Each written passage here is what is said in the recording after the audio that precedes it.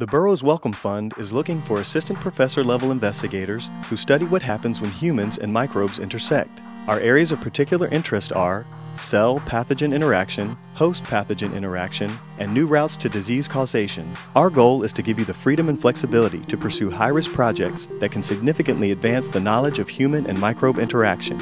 To be eligible, you must be a U.S. or Canadian resident, hold an MD, DVM, or PhD degree, established record of independent research, have a tenure track position as an assistant professor, and be nominated by an accredited degree granting institution in the U.S. or Canada. See all the requirements and apply at the PATH program page today.